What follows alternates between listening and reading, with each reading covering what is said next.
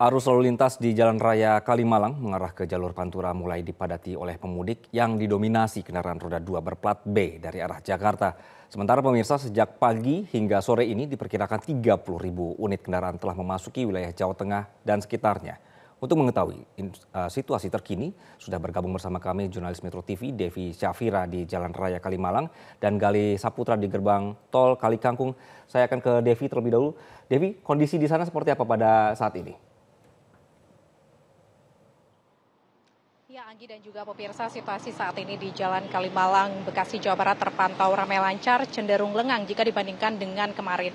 Dan didominasi oleh pemudik kendaraan roda 2 ataupun sepeda motor berplat B dari arah Jakarta menuju ke jalur Pantura, yakni Jawa Barat, Jawa Tengah, dan juga Jawa Timur.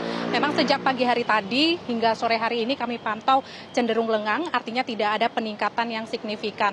Meskipun begitu, dari peningkatan arus lalu lintas di Bekasi ini ada peningkatan yakni 5 hingga 8 persen. Kemudian untuk rekap fluktuasi ada 25,8 persen. Sehingga memang ada peningkatan untuk secara keseluruhan arus lalu lintas.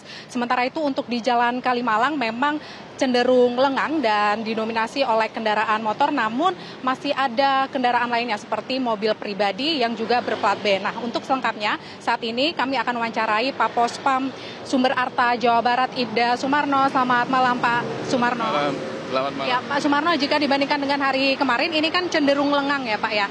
Nah, ini apakah puncak arus mudiknya ini sudah kemarin Pak? Uh, diperkirakan demikian, arus puncak mudik lebaran tahun ini diperkirakan malam minggu kemarin. Jadi terpantau hari ini kemungkinan nanti habis selesai buka puasa pada maghrib, pada maghrib akan dimulai lagi mungkin perjalanan khususnya roda dua arah timur, arah Pantura.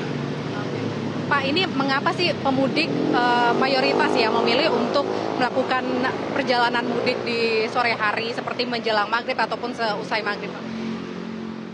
Ya mungkin dikarenakan karena pemudik sepeda motor ini kan apabila dilaksanakan pada waktu siang hari, dia terkendala dengan cuaca panas, terkendala lagi mengenai kemacetan yang disebabkan oleh traffic light, pasar tumpah maupun jalur-jalur arteri yang cenderung banyak kendaraan lalu lalang.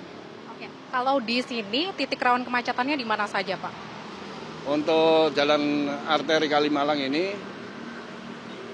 kemacetan ada pada titik-titik traffic light maupun sepanjang jalan Kalimalang ini. Jadi di antaranya traffic light TL, BCP, Unisma, tol timur dan seterusnya sampai Kalimalang, sampai Pantura. Oke, berarti ini kan dekat dengan pasar yang mana merupakan aktivitas masyarakat. Ini juga salah satu aktivitas masyarakat yang membuat titik rawan kemacetan tidak, Pak? Nah, untuk di Pasar Sumber Harta sendiri, untuk titik kemacetan mengenai Pasar Tumpah, saya rasa tidak tidak mengakibatkan kemacetannya, karena tidak langsung bersentuhan dengan jalan raya. Jadi tidak mengganggu jalan arus lalu lintas untuk pasar ini. Kalau untuk rekayasa lalu lintas ataupun skema pengalihan arus ini jika terjadi kepadatan yang signifikan itu bagaimana Pak? Jadi untuk arteri Jalan Kalimalang Bekasi ini eh, jalan cukup luas dan jalan cukup lebar. Jadi kemungkinan kecil untuk melakukan rekayasa lalu lintas seperti kontraflow maupun one way. Jadi untuk sementara jalan ini enak untuk dilalui. Jadi artinya lancar, tidak perlu ada rekayasa lalu lintas yang dilakukan begitu ya Pak. Selain itu antisipasinya apalagi Pak dari pihak kepolisian? Jadi antisipasinya mungkin dari jalan arteri ini kan untuk penerangan saya rasa kurang ya.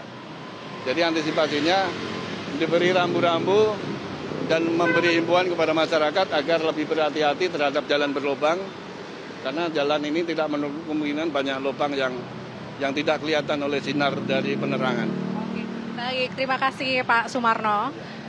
Ya, Anggi dan juga pemirsa memang dikatakan untuk peningkatan volume kendaraan ini biasanya terjadi usai maghrib ataupun pada pukul saat ini hingga nanti malam 00 waktu Indonesia Barat. Namun hingga saat ini memang cenderung lengang artinya lancar dan juga diimbau kepada masyarakat yang melintasi di Jalan Kalimalang ini tentunya karena ini musim penghujan agar berhati-hati kemudian juga memastikan kondisi kendaraan dan juga tubuh dalam kondisi prima serta menaati arus lalu lintas. Sementara demikian, Anggi kembali ke Anda di studio. Baik, Devi. Tadi juga catatan khusus ya untuk pengendara bahwa hati-hati saat malam banyak lubang juga begitu ya untuk pengendara motor. Jelajahi cara baru mendapatkan informasi. Download Metro TV Extend sekarang.